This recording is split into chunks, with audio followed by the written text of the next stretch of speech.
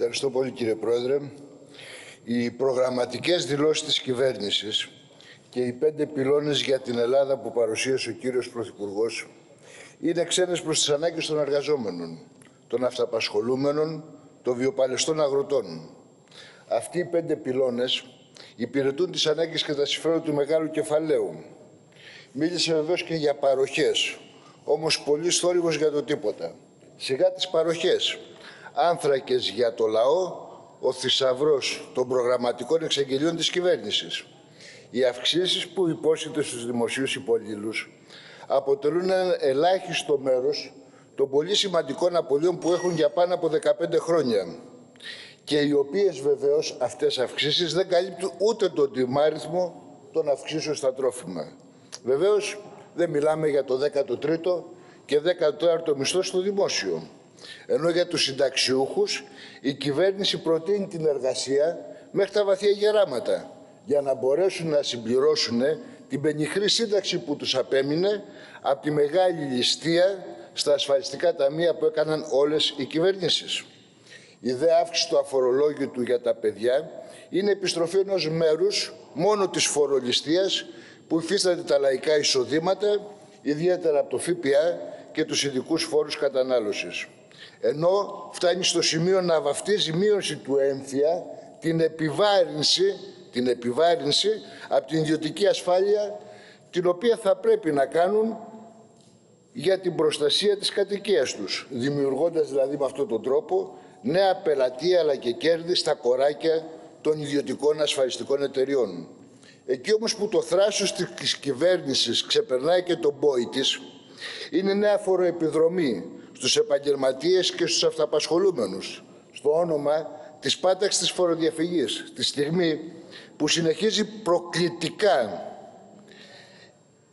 να απαλλάσσει τους μεγάλους επιχειρηματικούς ομίλους από την όποια φορολογία, ενώ ταυτόχρονα αποτελεί πρόκληση και διαγραφή των χρεών των μεγαλοφιλετών στην εφορία λόγω του ότι όπως ισχυρίζεστε χαρακτηρίζονται αυτά ανεπίδεκτα ίσπραξης. Με όλα αυτά θέλετε να συσκοτήσετε το γεγονός ότι ο Μινόταυρος βρίσκεται μέσα στο δωμάτιο και ότι τα δύσκολα για το λαό είναι μπροστά.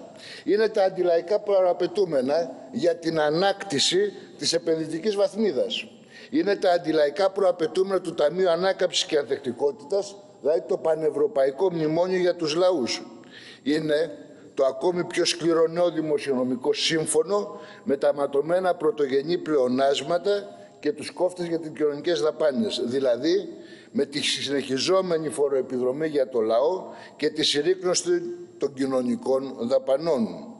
Για να επιτευχθεί με αυτόν τον τρόπο ακόμη περισσότερο η εμπορευματοποίηση της υγείας, της παιδείας, αλλά και των άλλων λαϊκών αναγκών όπως της λαϊκής στέγης. Όσα αυτά παραμένουν εμπορεύματα με σκοπό το κέρδος, τόσο θα θυσιάζονται τα δικαιώματα και η ικανοποίηση των λαϊκών αναγκών. Και οι εργαζόμενοι θα αναγκάζονται να τα πληρώνουν πολύ ακριβά. Και στον καπιταλισμό όλα αυτά είναι εμπορεύματα.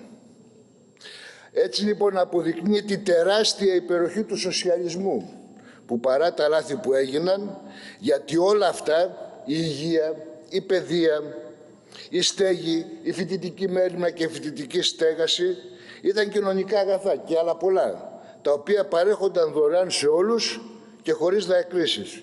Και όλοι σας τώρα προσπαθείτε να τετραγωνίσετε τον κύκλο. Προσπαθείτε να συγκαλύψετε τα βάρη αλλά και τους κινδύνους που επομίζεται το λαός μας από τη μεγαλύτερη συμμετοχή της χώρας μας στον υπεριαλιστικό πόλεμο στην Ουκρανία, από τη βαθύτερη εμπλοκή της χώρας μας στους Αμερικανονατοικούς υπεριαλιστικούς σχεδιασμούς, στο όνομα της γεωστρατηγικής αναβάθμισης της άρχουσης τάξης της περιοχή, δηλαδή στη συμμετοχή της από καλύτερες θέσεις στο πλιάτσικο σε βάρος των λαών της περιοχής.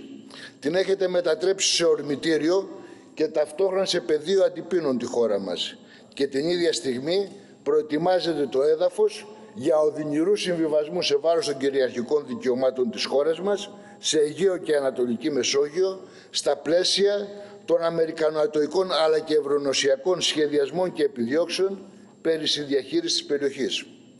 Εκεί όμως που η κυβέρνηση ξεπερνάει και τον ίδιο της τον εαυτό, είναι η υπόσχεση περί αναπτυξιακού μερίσματος, θυμίζοντας το αλίστου μνήμης σλόγκαν του ΣΥΡΖΑ και του ΠΑΣΟΚ περί δίκαιης ανάπτυξης. Άλλωστε, αυτό το αναπτυξιακό, όπως το λέτε, μέρισμα, ξεπροβάλλει ανάγλυφα από τον τουρισμό, την αβαρχίδα της ελληνικής καπιταλιστικής ανάπτυξης, με τις συνθήκες γαλέρας για τους εργαζόμενους και με το όνειρο απατηλό για διακοπές όσον αφορά τη λαϊκή οικογένεια και την νεολαία των λαϊκών στρωμάτων. Γιατί η καπιταλιστική ανάπτυξη από το ίδιο της το DNA βασίζεται στην αύξηση των εκμετάλλευσης των εργαζόμενων. Διευρύνει όλο και περισσότερο την ψαλίδα ανάμεσα στις υπαρκτές αντικειμενικές δυνατότητες και στο επίπεδο ικανοποίηση των λαϊκών αναγκών. Οδηγεί στην όλο και μεγαλύτερη διεύρυνση των κοινωνικών ανισοτήτων. Από τη μια μεριά στη συγκέντρωση του πλούτους σε όλο και λιγότερα χέρια και από την άλλη μεριά στη διεύρυνση της σχετικής αλλά και απόλυτης εξαθλίωσης των λαϊκών στρωμάτων. Ένα πρόσφατο παράδειγμα αυτής της τεράστιας αναδιανομή που γίνεται σε βάρος των λαών και προς όφελος των λίγων είναι και ο πληθωρισμός της απληστίας, όπως τον ονομάζει το Διεθνές Νομισματικό Ταμείο και όχι το γραφείο του κρατικού προϋπολογισμού στη Βουλή. Από εκεί δανείστηκε τον τίτλο. Τι λέει αυτή λοιπόν η έκθεση του Διεθνούς Νομισματικού Ταμείου για τον πληθωρισμό απληστίας, ότι ο πληθωρισμός στην Ευρωζώνη, συνολικά και όχι μόνο στην Ελλάδα, από τις αρχές του 2022 οφείλεται κατά 45% στα υψηλότερα επιχειρηματικά κέρδη. Να, πώς εξυπηρετούνται επί της ουσίας η συγκέντρωση του πλούτου σε όλο και, σε όλο και λιγότερα χέρια. Ενώ μέσα από αυτές τις ίδιες τις αναπτυξιακές διαδικασίες γεννιούνται οι παράγοντες εκδήλωσης μιας νέας καπιταλιστικής κρίσης από την οποία δεν πρόκειται ποτέ να απαλλαγεί το εκμεταλλευτικό σύστημα.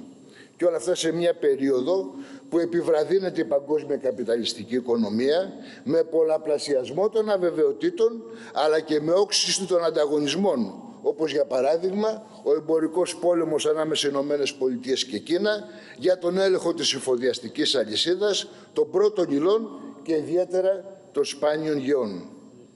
Σήμερα, κατά τη διάρκεια της συζήτησης των προγραμματικών δηλώσεων, ΣΥΡΙΖΑ και ΠΑΣΟΚ εξέφρασαν με κάθε τρόπο την ανησυχία τους μην τυχόν και δεν υλοποιηθεί το πρόγραμμα της κυβέρνησης για πράσινη μετάβαση, για ψηφιακή μετάβαση.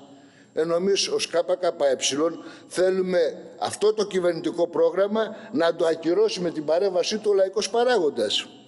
Αυτή τους η ανησυχία βεβαίως σχετίζεται με το γεγονός ότι έχουν κοινό πρόγραμμα. Νέα Δημοκρατία, ΣΥΡΙΖΑ και ΠΑΣΟΚ και δεν είναι άλλο από το πρόγραμμα το οποίο υπηρετεί τις ανάγκες του κεφαλαίου, το πρόγραμμα που υλοποιεί την πολιτική της Ευρωπαϊκής Ένωσης και αποδέχεται τις δεσμεύσεις της χώρας μας από τη συμμετοχή της στο Αμερικανατοϊκό στρατόπεδο. Αλλά δεν είναι μόνο το πρόγραμμά σας κοινό, είναι και τα εργαλεία τα οποία εφαρμόζεται. Όπως για παράδειγμα οι λεγόμενες κρατικοποιήσεις, ιδιωτικοποιήσεις. Λέει η κυβέρνηση ότι θα περάσουν υπό δημόσιο έλεγχο η ΕΙΔΑΠ και η ΙΑΘ. Και λοιπόν, και λοιπόν, θα πάψει το νερό να είναι εμπόρευμα; Όχι, το νερό θα παραμένει εμπόρευμα. Ή η διαχείρισή τους θα σταματήσει, των υδάτινων πόρων θα σταματήσει από τον έλεγχο των ιδιωτικών επιχειρηματικών ομήλων; Ο ΣΥΡΙΖΑ δεν ιδιωτικοποίησε το φράγμα στη Ρόδο για να μπορεί, για να το διαχειρίζεται η εκτέρνα. Να λοιπόν πώς μετατρέπονται σε εμπορεύματα στον καπιταλισμό, πώς είναι εμπορεύματα και το νερό, ανεξάρτητα αν είναι δημόσιο, υποδημόσιο έλεγχο η ΙΔΑΠ και η, και η ΙΔΑΘ. Άλλωστε και η ΔΕΗ υποδημόσιο έλεγχο ήταν και είναι ακόμη, παρόλα αυτά η επικυβέρνηση ΣΥΡΙΖΑ πολλούσε το ρεύμα στους άμεσους ανταγωνιστές τους κάτω του κόστους, για να μπορούσε να κάνει τι, να διασφαλίσουν τα κέρδη τους. Ή από κοινού Νέα Δημοκρατία και ΣΥΡΙΖΑ δεν ψηφίσατε την ιδιωτικοποίηση των αφηγείων Ελευσίνας.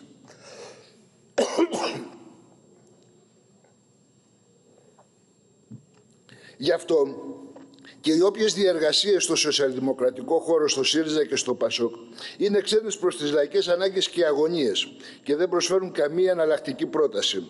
Δείτε για παράδειγμα στη Γερμανία η κυβέρνηση Σόλτς μειώνει τις κρατικές δαπάνες για τον προϋπολογισμό του 2024 κατά 31 δισεκατομμύρια ευρώ που αφορούν κατά κύριο λόγο κοινωνικές ανάγκες. Σαν να και εγώ θα τελειώσω κύριε Πρόεδρε.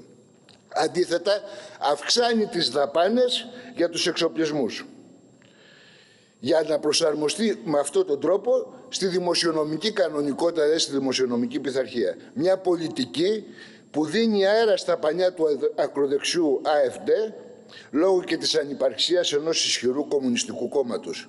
Το ίδιο και στην Ισπανία. Καταραίει με πάτογο η κυβέρνηση των Σοσιαλδημοκρατών και την ίδια στιγμή αυξάνει τη δύναμη του ακροδεξιού Vox, το οποίο σχεδιάζει να μπει στην κυβέρνηση με το Λαϊκό Κόμμα, όπως άλλωστε κάνει σε τρεις περιφέρειες που συγκυβερνούν.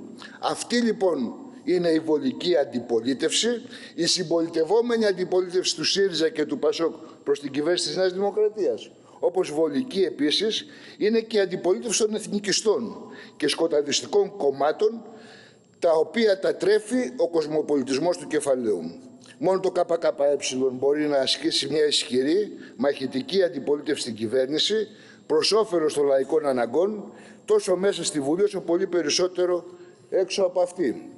Γι' αυτό ακριβώς το λόγο και η άνοδος του ΚΚΕ ενισχύει το ρεύμα αμφισβήτησης της κυρίαρχης πολιτικής, ισχυροποιεί το λαϊκό παράγοντα, δηλαδή το αντίπαλο δέος προς την κυβέρνηση και τα κόμματα που εξυπηρετούν τις ανάγκες του κεφαλαίου, ισχυροποιεί τη λαϊκή πάλι ενάντια τόσο στην αντιλαϊκή πολιτική όσο και στα φασιστικά και ναζιστικά μορφώματα. Έτσι λοιπόν το ΚΚΕ κύριε Πρόεδρε καταψηφίζει τις προγραμματικές δηλώσεις της κυβέρνησης και την αντιπαλεύει την κυβερνητική πολιτική στην πράξη.